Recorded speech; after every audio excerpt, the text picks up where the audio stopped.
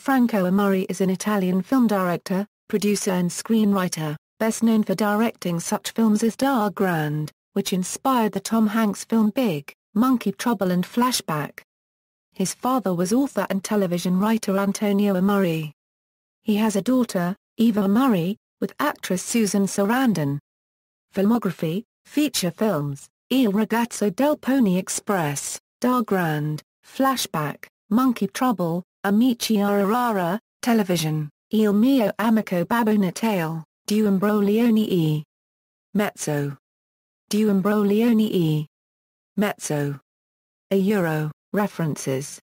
External links, Franco Amurri at the Internet Movie Database, Franco Amurri at AllMovie.